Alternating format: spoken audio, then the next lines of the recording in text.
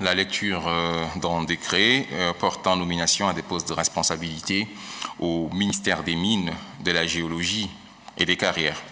Le président de la République, chef de l'État, président du Conseil des ministres, sur proposition du ministre des Mines, de la Géologie et des Carrières, décrète, article 1er, les fonctionnaires dont les noms suivent sont nommés au poste de responsabilité ci-après au ministère des Mines, de la Géologie et des Carrières secrétariat général, secrétaire général, M.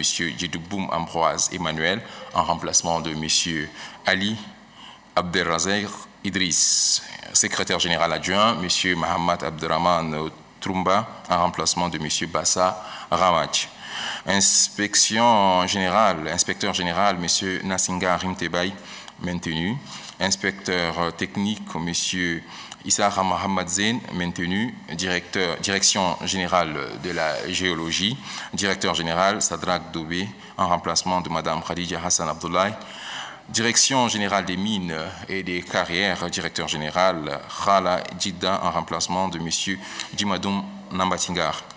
Article 2, euh, le ministre euh, des Mines, de la Géologie et des Carrières et le ministre des Finances et du Budget sont chargés chacun en ce qui le concerne de l'application du présent décret qui prend effet pour compter de la date de sa signature, sera enregistré et publié au journal officiel de la République, N'Djamena, le 20 décembre 2017, signé le président de la République, Idriss Déby Itno décret portant nomination de deux officiers de forces armées et de sécurité à des postes de responsabilité au ministère délégué à la présidence de la République chargée de la défense nationale, des anciens combattants et victimes de guerre le président de la République, chef de l'État, chef suprême des armées, sur proposition du ministre.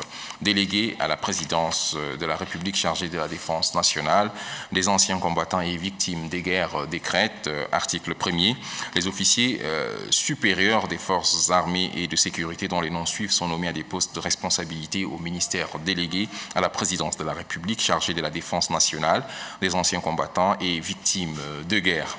Direction de l'Office national conventionné des anciens combattants et victimes de guerre, euh, directeur adjoint, colonel Mbaye Mundu Gervais Laoumbe, identité 92 84 18 15 en remplacement du colonel Ahmad Shahid Koufoufou appelé à d'autres fonctions.